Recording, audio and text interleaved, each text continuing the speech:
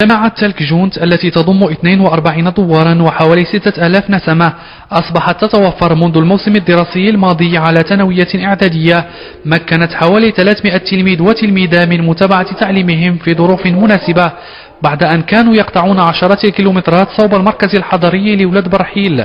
مبادرة مكنت من محاربة الهدر المدرسي خصوصا وسط الفتيات. كانوا الدريات بزاف كينقطعوا حيت المؤسسة ديال ولاد برحيل كانت بعيدة عليهم.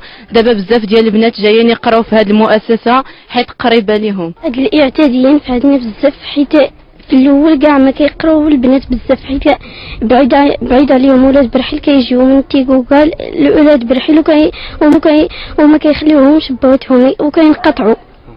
ودابا لا كيجيو حتى لهنا وكاين الداخلية كاين كلشي.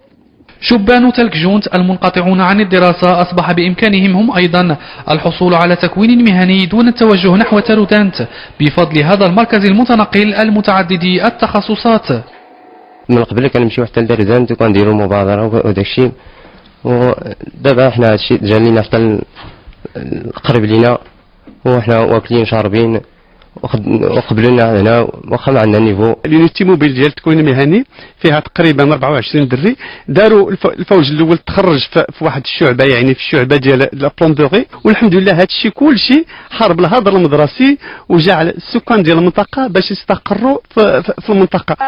مقاربة تشاركية تشهدها هذه المنطقة المتواجدة بصفوح الأطلس الصغير بين السلطات المحلية والمجتمع المدني من أجل محاربة نسب الهدر المدرسي المرتفعة وتمكين الشباب من تكوين يضمن إدماجهم بسوق العمل.